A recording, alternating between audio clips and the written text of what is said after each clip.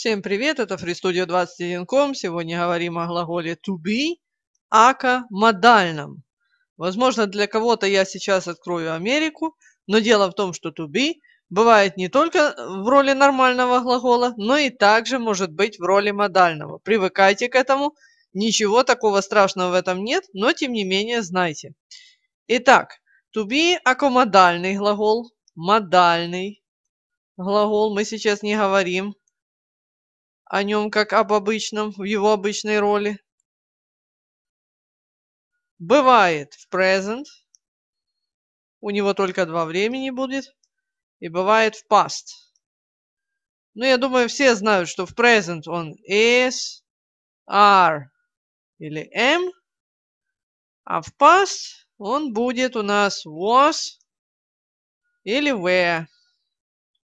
Когда was, когда we, когда is, are и am, это отсылаю вас к моим плейлистам о настоящих и прошедших временах, вы все сразу поймете. Что еще следует помнить? Uh, to be всегда, если он в роли модального, uh, после него всегда будет стоять present infinitive и частица to.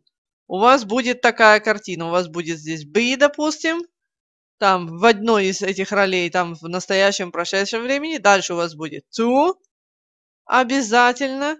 А дальше у вас будет present infinitive. Present infinitive. Грубо говоря, вот это все дело, сейчас я его обведу, чтобы было красиво. Вот это все, вот это дело называется full infinitive. Если кому интересна терминология, то вот это full infinitive, то есть это полный инфинитив. Инфинитив с частицей to. Инфинитив. То иногда я пишу. Получается полная ерунда, когда спешу. Итак, как он выглядит? Возможно, вы никогда не видели его в предложениях. Я вам сразу приведу пример. Uh, ну, например, такое. We were... В прошедшем времени возьмем. We were the start the start at 5 p.m. А, переводится это так. А, мы должны были выехать, или мы должны были начать, здесь и выехать, и начать, может быть, мы должны были начать в 5 часов вечера. То есть предполагалось, что мы начнем в 5 часов вечера. Uh, то есть uh, to be показывает как бы на необходимость своего рода. Но э, для ясности я, естественно, нарисую табличку. Какой ролик без таблички. И вам распишу, значит, здесь как он выглядит. Выглядит. Здесь будет, что он выражает. Выражает. Здесь у нас будет пример. Пример. А дальше синонимы. Ибо to be можно заменить синонимами, и поэтому он не так часто встречается. Итак, первая колонка, вторая колонка, третья и четвертая. Во, красота. Ну а теперь расписываем, что где. Первый случай.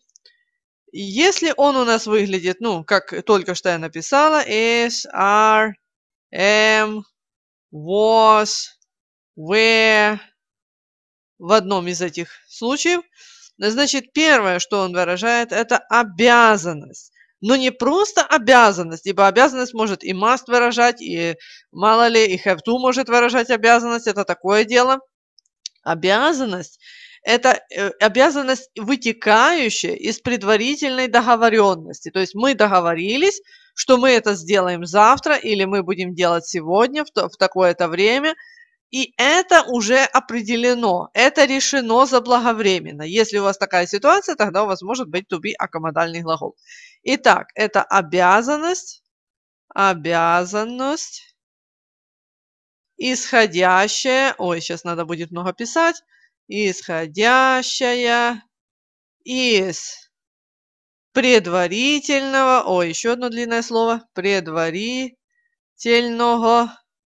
договора или договоренностей. Договора. Это может быть график, это может быть план, это может быть, ну не знаю, там, ну какая-то договоренность была до того. до того, как было высказано, что мы там что-то будем делать. Итак, возьмем пример. Возьмем один, я возьму в настоящем времени, э, или, скажем так, с, с present э, э, to be, а потом с past э, to be. Итак, tomorrow, обратите внимание, что у меня хоть и present стоит у to be, а тем не менее у меня будущее время. Tomorrow we are, we are, э, там чего, the set of, the set of, after lunch after lunch. Вот такая ситуация. Завтра э, нам следует выехать после ланча. То есть мы договорились, мы построили себе какой-то график, возможно, у нас там билеты на что-то есть, и нам надо выехать. Короче говоря, заблаговременно мы знаем, что у нас это своего рода такие планы на будущее. Вот. Э, если у вас вот такая ситуация, тогда спокойно ставьте. Вот, кстати, to be. Вот он, are. И вот наш full infinitive. Вот так оно выглядит. Нормально, ничего страшного, привыкайте. Возможно, кому-то это дико, но тем не менее это так есть. Возьму еще одно предложение в past, чтобы было два. Так, ну, чтобы такое придумать, я знаю. Ну, например, такое we were я переговорю, наверное, то же самое. We were to come at seven at seven a.m. every day. Every day. Мы должны были приходить в 7 утра каждый день. Ну, допустим, на работу был такой распорядок, чтобы мы приходили в 7 утра каждый день. И вот этот распорядок я указываю. Вот оно, моя конструкция. Вот мой to be, вот мой full infinitive. То есть нам должно было являться на работу в 7 утра каждый день. Был график, поэтому мы так и являлись. Чем в данном случае это to be можно заменить? Ибо, как вы видите сами, немножечко непривычно выглядеть, выглядит это все дело. Ну, я не знаю, возможно, кому-то покажется дико такое говорить. Его можно заменить. Это прекрасный заменитель have to или had to, ну, в прошедшем времени, естественно.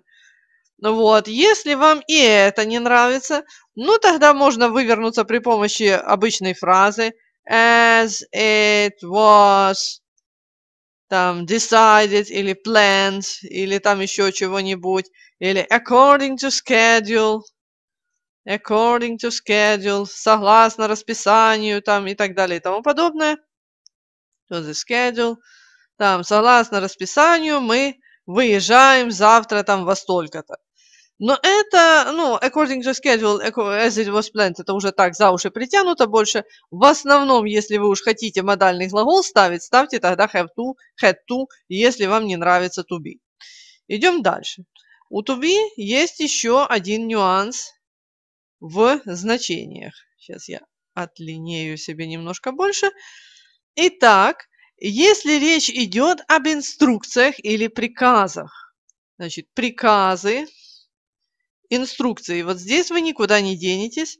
Здесь вам, скорее всего, придется ставить be без особых изменений. Приказы и инструкции. Ну, например, э, это могут быть правила, это может быть закон какой-нибудь, ну, что-то в этом духе.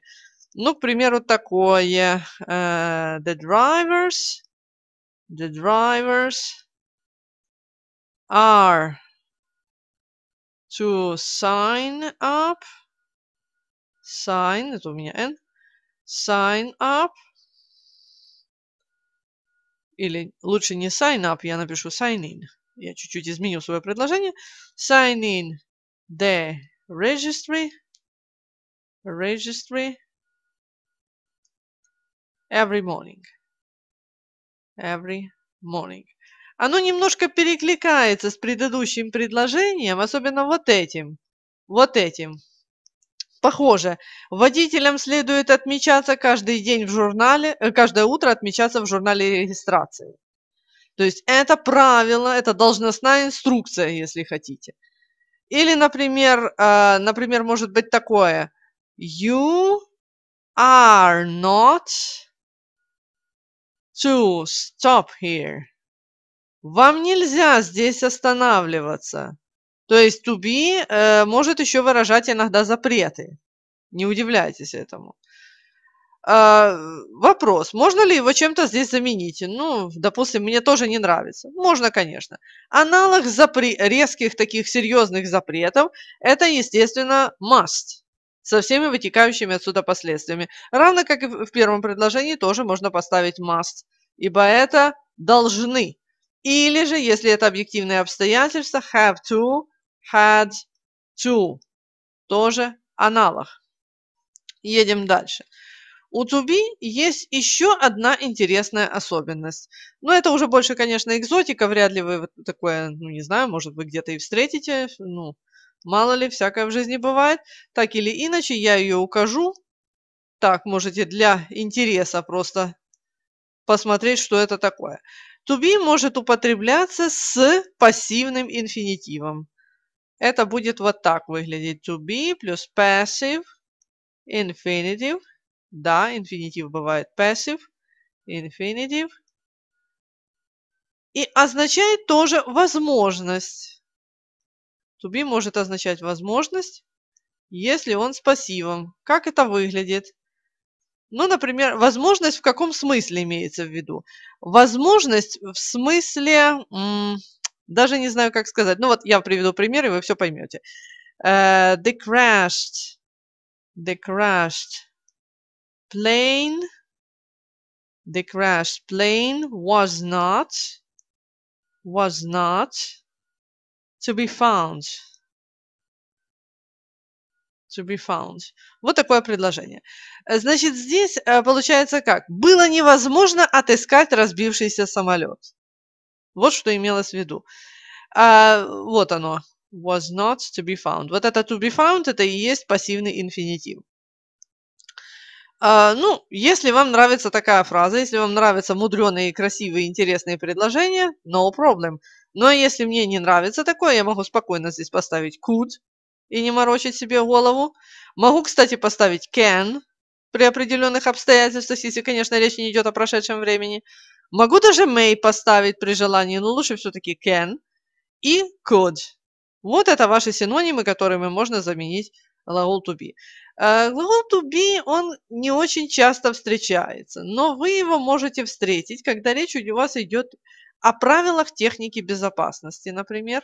И вы можете его встретить также, когда речь идет о распорядке каком-либо, когда вы будете читать, э, например, договор об устройстве на работу, вы можете там его встретить. We are together at four o'clock. Вы должны собираться там в 4 часа где-то. И так далее, и так далее. Если, короче говоря, у вас какие-нибудь нормативные документы, если у вас вещи, которые не обсуждаются, скажем так, вот тогда be может встречаться. В основном это, э, ну, в 9 случаях из 10, это я уже от себя больше говорю, из своей практики – это, скорее всего, какие-нибудь э, должностные инструкции. В основном так. Почему, не могу сказать, но именно так оно и есть. Поэтому, э, ну, в обычной речи вряд ли вы его будете встречать, но знайте, что у него вот еще есть такая роль to be, это как shall и will из той же серии, у него раздвоение личности, он может быть как обычным нормальным глаголом, так и модальным глаголом. Если вам что-нибудь стало из этой темы интересно, пишите в комментариях, отвечу на вопросы. Э, подписывайтесь на мой канал. Спасибо за внимание.